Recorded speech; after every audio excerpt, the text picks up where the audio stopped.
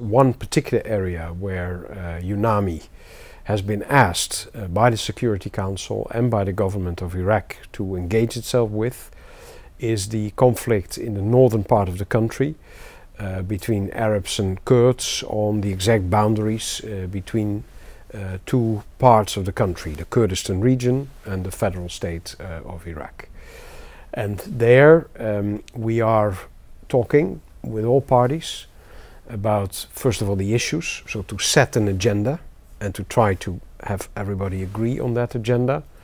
And then, under each agenda point, trying to see what options there are.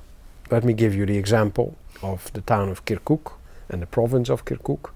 Everybody knows that that is a cause for disputes over decades. It has a very long history.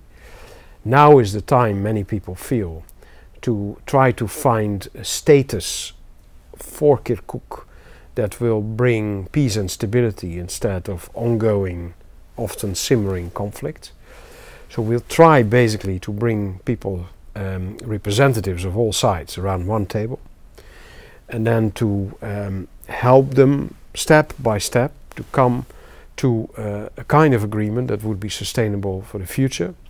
In the meantime, we also uh, involve ourselves with issues like the security arrangements, so how to avoid in the short run that uh, a small conflict suddenly can flare up and evolve into a very big uh, confrontation.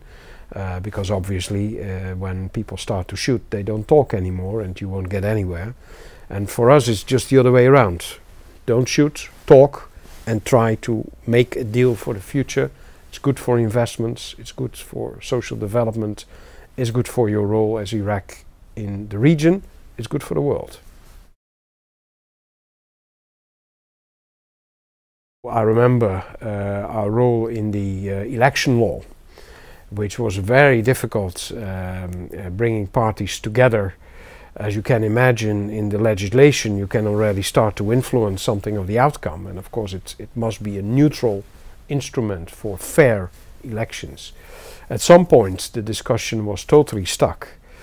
And um, we asked actually the different Iraqi parties whether they uh, would be uh, assisted by a UN role. And only when they said, yes, we would like actually to see that, we even would like you to suggest some options for getting out of this uh, stalemate, that's what we did. I invited um, in my residence representatives of all parties.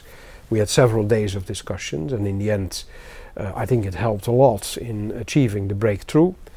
An election law that was uh, uh, adopted near unanimously, and I think one can say that that was a vital basis for a, a relatively fair election campaign, uh, credible elections, and a good process afterwards. So it was a very crucial role that the UN could play at that moment.